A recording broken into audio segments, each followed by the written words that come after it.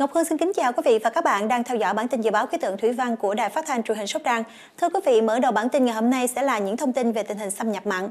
Vào ngày 6 tháng 3 thì độ mặn cao nhất trên sông Hậu tại Trần Đề ở mức là 17,5 phần ngàn, ở Long Phú 13,9 phần ngàn, Đại Ngãi 3,3 phần ngàn, An Lạc Tây 0,1 phần ngàn. Trên sông Mỹ Thanh tại thành Thới Thuận, độ mặn ở mức là 14,5 phần ngàn, Sóc Trăng 1,7 phần ngàn, Thành Phú 1,5 phần ngàn và tại thị xã Ngã Năm là 0,1 phần ngàn. Bà con nông dân lưu ý là thường xuyên kiểm tra độ mặn trên sông Rạch trước khi lấy nước bơm tưới. Trong 24 giờ tới thì ở khu vực Nam Bộ sẽ chịu sự ảnh hưởng bởi rìa phía nam của khối không khí lạnh lục địa phía Bắc tiếp tục được tăng cường xuống phía nam, sau đó có cường độ ổn định. Trên cao thì áp cao cận nhiệt đới khống chế toàn bộ khu vực và hoạt động ổn định.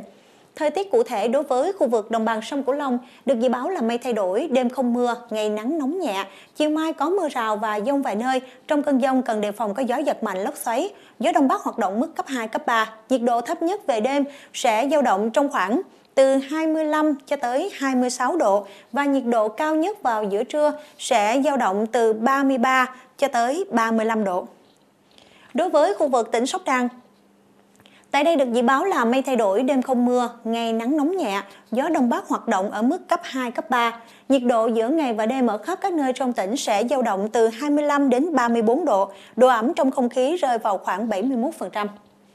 Xin được chuyển sang những thông tin về tình hình thời tiết biển. Trên các vùng biển ngoài khơi từ Bà Rịa Vũng Tàu kéo dài cho tới Cà Mau được dự báo là mây thay đổi, có mưa rào và dông vài nơi. Trong cơn dông cần đề phòng có lốc xoáy và gió giật mạnh, tầm nhìn xa trên 10 km, gió đông bắc hoạt động ở mức cấp 5, có lúc cấp 6, biển động nhẹ.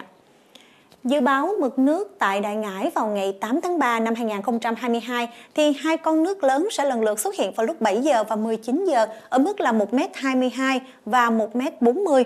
Còn hai con nước rồng sẽ xuất hiện vào lúc 2 giờ 30 và 14 giờ, lần lượt ở mức là âm 1m03 và âm 0m69.